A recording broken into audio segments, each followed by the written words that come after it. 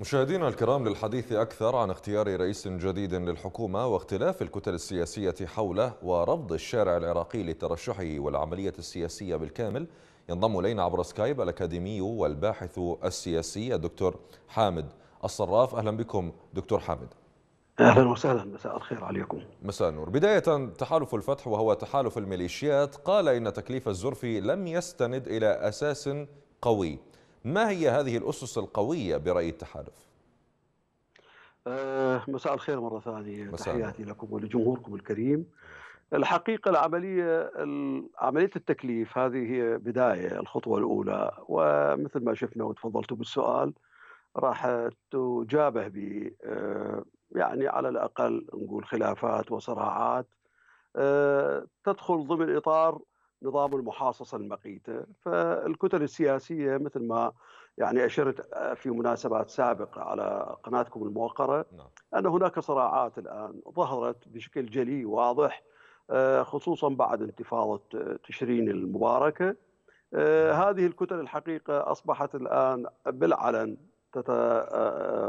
تتصارع وتتنافس من أجل الاستحواذ على حصة أكبر مما كانت مقسمة في نظام المحاصصة في الحكومات السابقة نعم. يعني هذا هو سر العمل إضافة إلى عامل آخر مهم جدا عامل إقليمي اللي هو دور الميليشيات ودور الفصائل المسلحة التابعة لولاية الفقيه اللي تجد من الضروري أن تحافظ على مكانتها وتجسد مطامع إيران في العراق نعم. عبر رفض كل شخصية تجد أو تشك بولائها ل يعني مثل ما يسموهم المحور الشيعي أو محور الأحزاب دون الشيعية. الالتفات إلى إلى الشارع وإلى الجماهير الغاضبة التي خرجت طيلة هذه الستة أشهر الماضية؟ لا هو بالتأكيد هو طبعا السؤال ولو بسمع جزء الكلمتين الأولى بس أنا أعتقد أنه العملية هي بعيدة كل البعد، أنا أيضا اكد على أنه اللي اللي يصير اللي يحدث من قضية مشاورات اللجنة السباعية وأيضا التكليف يوم أمس. طبعا بالتأكيد بعيد عن مطالب الشارع، مطالب الانتفاضة. انتفاضة تشرين نعم. ومواصفات اللي اللي أيضا ثبتوها نعم. منذ البداية نعم. في رئيس الوزراء المكلف. الحقيقة هم الآن يعني خضعت العملية خلال الساعات الأخيرة إلى يعني مثل ما يقول مناقشات وسجالات لابد وأنه نصل خلال الساعات القادمة أو الأيام القادمة إلى وضوح رؤية أكثر بالنسبة لكل الأطراف نعم. بما فيهم حتى رئيس الوزراء المكلف يعني السيد عدنان الزرفي راح يجد أنه يعني طريقة طريقة التعامل نعم. مع كل الأطراف هذه دكتور هذه دكتور إذا سمحت لي محمد توفيق علاوي قال إن الزرفي سيدخل في صراع مع الكتل إذا رفض المحاصصة مع رفض تحالف الفتح لعدنان الزرفي هل بات عليه أن يرضخ للمحاصصة؟ الحقيقة أنا في هذا الخصوص أنا قرأت يعني تغريدة السيد محمد توفيق علاوي نعم. يعني بشكل جيد وشفتها أنه يعني هي قابلة للأخذ وقابلة أيضا للنقاش يعني السيد عدنان الزرفي أمام الآن مهمة صعبة جدا. عملية التكليف هذه خطوة واحدة. أما عملية التأليف أو تشكيل الحكومة والتحدي بإقناع الأطراف الرافضة له خصوصا الميليشيات زعماء الميليشيات يعني التابعة لولي الفقيه. هذه قضية ثانية. إذا قدر هو يستند على الشارع ويبتعد عن نظام المحاصصة المقيتة بتشكيل حكومة وطنية من المستقلين التكنوقراط يعني ويشكل أيضا كتلة كبيرة في البرلمان ترتضي هذه هذه التشكيلة بعيدا نعم. عن المحاصصة بالتأكيد راح يحقق نجاح ونقلة نوعية بالمرحله القادمه هل هذه الفرضيه قابلة للتطبيق على أرض الواقع بما تفضلتم؟ صعبة جدا. أنا ذكرت من البداية قلت المهمة ليست سهلة مهمة قاسية مهمة معقدة مركبة خصوصا في الظرف الحالي.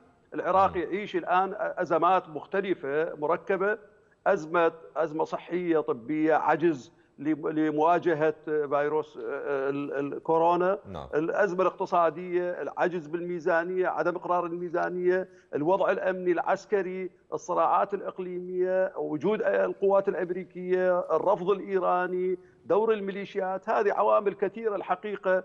عليه هو أن يحسب لها ألف حساب. لايضا قضية نعم. تمرير الحكومة نفسها يعني تشكيلتها تشكيلة الحكومة وتمريرها يعني عملية التأليف وتشكيل الحكومة إقناع الكتل السياسية لأنه لابد هذه الحكومة أن تمرر عبر البرلمان وهذه أيضا إذا ما تخضع للمحاصصة طبعا عملية أنا أعتقد آه، ليست بسهلة إن لم تكن مستحيلة فلذلك أنا ما نعم. يعني ما أسد الأبواب كلها ما أغلق الأبواب لا نعم. أمام الرجل هو آه، مثل ما إحنا قيمنا آه، تكليف السيد محمد توفيق علاوي منذ البداية ما كنا إحنا ضد أي شخصية يعني بالاسم نعم. لكنه إحنا ضد العملية السياسية برمتها باعتبار أنه نظام المحاصصه البقيته انتهى دوره. يعني وهذا وهذا عفوا دكتور وهذا ما نتحدث به ان وهذا طبعا رأي الشارع أن هذه العملية السياسية لا يمكن أن تتمخض عن وطني نزيه آه، مستقل لأنه لأنه بالتالي سيخضع لضغوطاتها كما تحدث محمد توفيق علاوي. هنا ميليشيا الخزعل اعتبرت تكليف عدنان الزرفي اعتبرته خيانة لدماء الشهداء في العراق. أي شهداء تقصد هذه الميليشيات؟ لا هم شهداء شهداء ال ال ال يعني الميليشيات وأنا أعتقد هم اللي يقصدوا آه، آه، يعني آه، يعني القتل أبو مهدي المهندس وقاسم سليمان. نعم. هؤلاء شهدائهم بالدرجة الأولى لأنه الأمريكان هم اللي صفوهم. وبالتالي هم يتهمون السيد عدنان الزرفي بأنه هو يعني جاء بإرادة أو بتدخل أمريكي أو ب يعني هواء هواء أمريكي بهذا نعم. الشكل.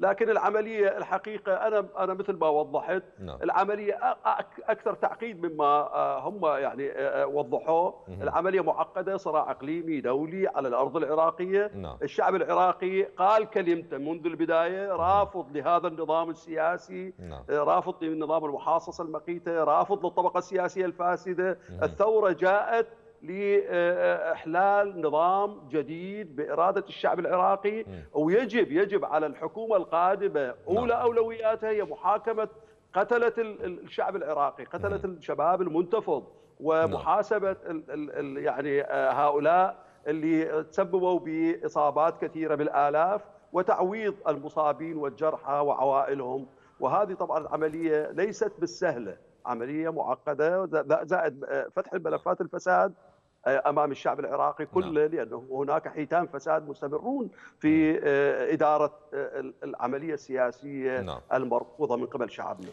الدكتور حامد الصراف الأكاديمي والباحث السياسي كنت معنا عبر سكايب شكرا جزيلا